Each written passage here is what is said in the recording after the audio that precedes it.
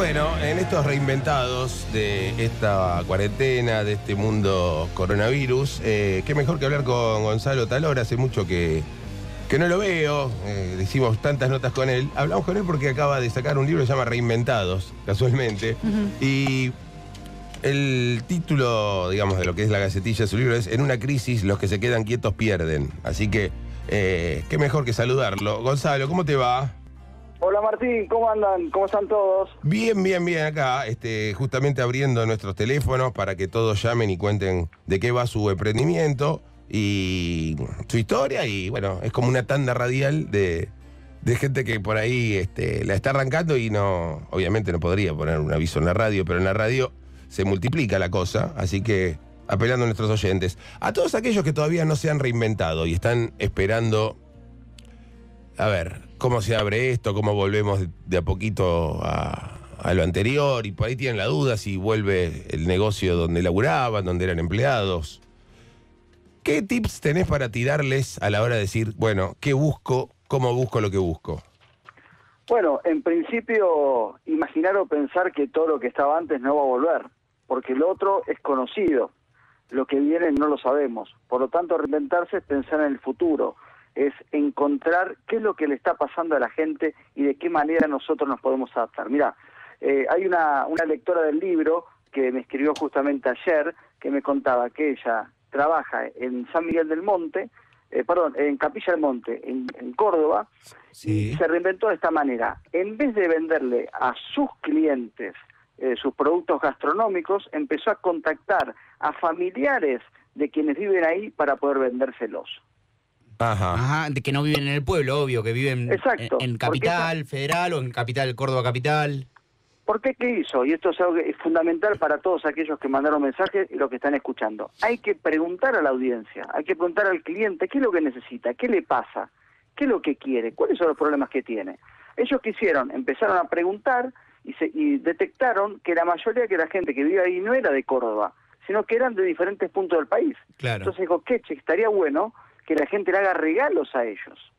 Fíjense cómo preguntando, mirando y escuchando aparece algo que antes o no lo necesitábamos o no lo teníamos en el radar. Pero ¿cómo preguntas? Eh, vas Claro. preguntándole a los vecinos, porque hoy en día está difícil. Por ejemplo, yo quiero hacer un emprendimiento en Ciudadela. ¿Cómo sé qué falta en Ciudadela?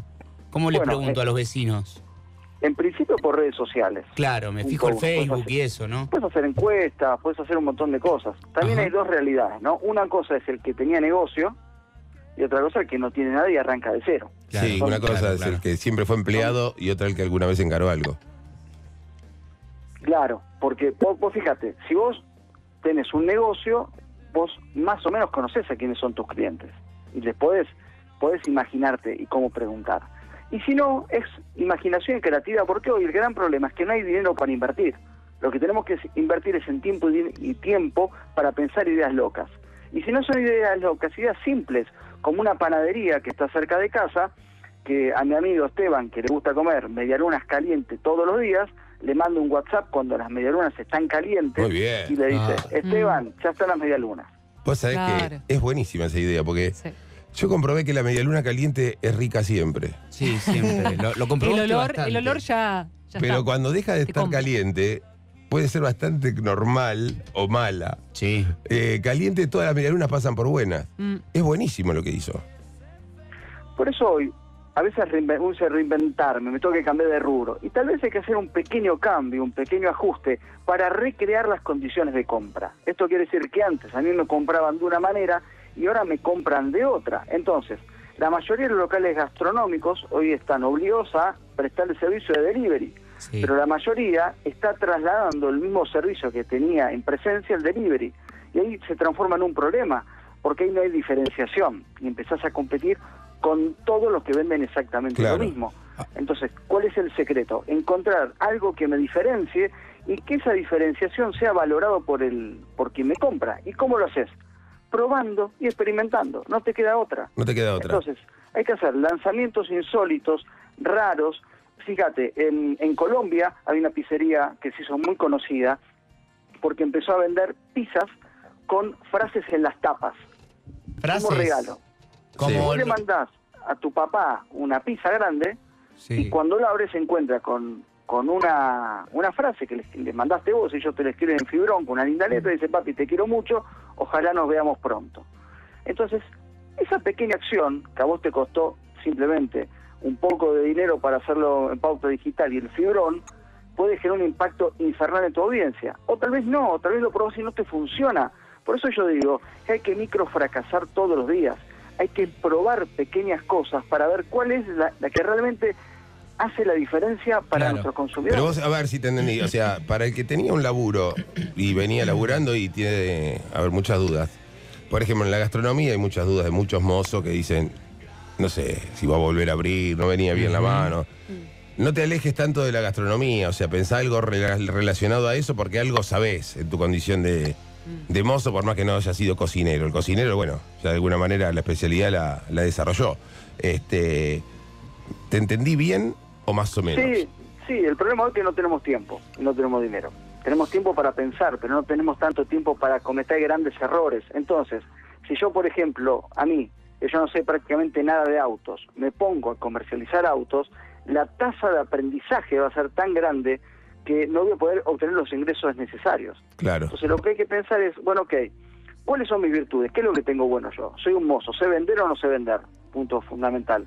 ¿Manejo las redes sociales o no manejo las redes sociales? Segundo, ¿cuál es mi red de contactos? ¿A quién conozco? ¿Qué están haciendo? ¿Cómo me puedo sumar? ¿Qué puedo aportar? Porque hoy vivimos en el mundo de los barbijos y, la- y las pantuflas. Sí, sí, hay mucho Entonces, de eso, ¿no? ¿Cuánto me puedo diferenciar con los barbijos? Si está todo el mundo vendiendo barbijos.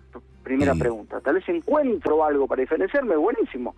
Pero si no, Ya salieron los equipos de fútbol, Claro, la banda de rock. el tema de los barbijos fue tremendo porque fue un boom, pero a las dos semanas teníamos a tanta gente haciendo barbijos que la verdad que ya no, no te llama la atención en absoluto. Es, che, estoy haciendo estos barbijos de diseño. Y sí, pero lo está haciendo todo el mundo. Y pero la demanda es alta, ¿eh? O sea, tienen- todos tienen que tener barbijo. Yo te digo, vas al Pero lugar. digo, ¿es mejor, es más conveniente tratar de sorprender, de alejarse de la media? ¿O a veces sí funciona hacer lo que están haciendo todos? Mira, lo tenés que medir. Yo hoy, si me pongo a hacer barbijos, Sí. yo creo que corro con desventaja, porque está todo el mundo vendiendo barbijos. Claro. barbijos. Ahora, si encuentro algo diferencial, cuando digo diferencial es que el producto sea de- diferente y percibido por el otro diferente, y al grupo, por ejemplo, barbijos para góticos. Tal vez a nadie se le ocurrió, y uno puede generar algo puntual para góticos, generar una campaña publicitaria para góticos, y ahí tenemos un mercado. Todavía no funciona, no lo sé. Claro, apuntar a los probarlo. nichos.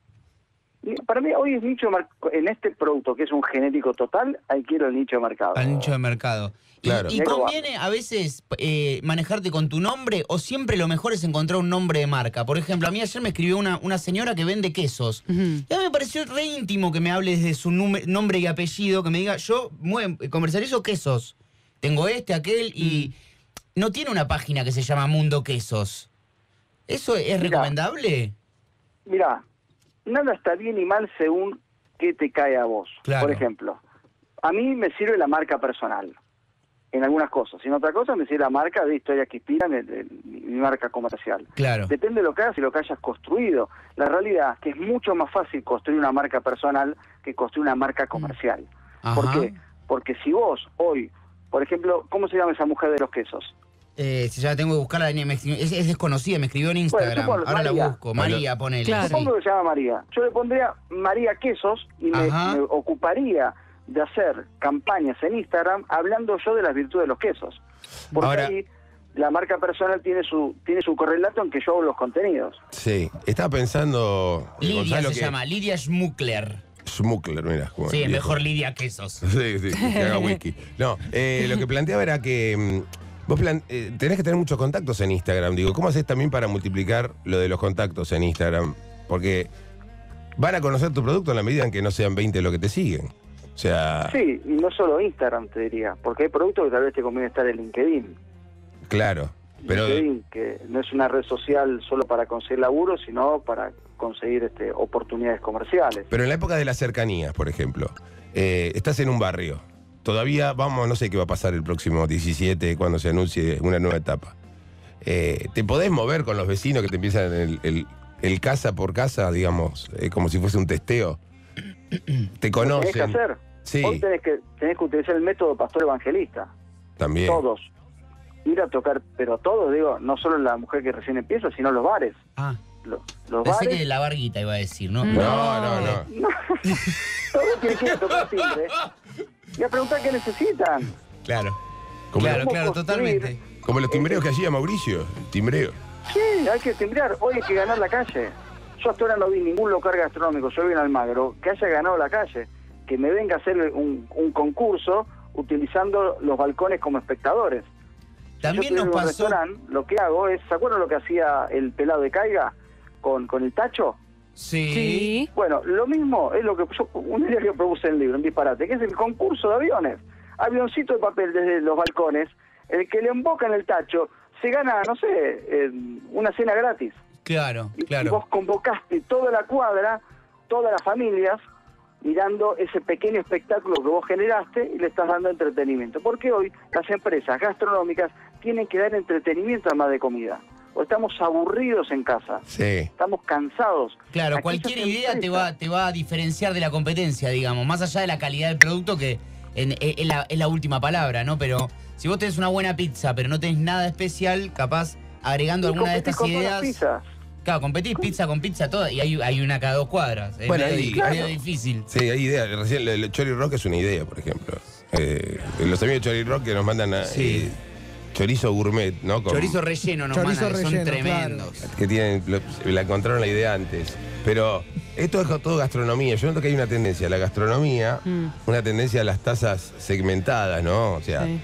Eh, una taza con la lengua de los Stones, una ta- Sí, ah, le- sí, hacemos sí. tazas de rock, otro hace tazas de equipo de fútbol. Puede ser Eh, que la inflación tenga que ver con esto, como que empezó a haber bastante desconfianza eh, en, en los supermercados y en los, en los hipermercados también. Viste que ya desconfías de decir, mirás un- el precio de un queso, 200 gramos de queso está 400 mangos, decís, loco, no, yo esto no te lo compro. Entonces capaz empezás a buscar más emprendedores que vendan comida.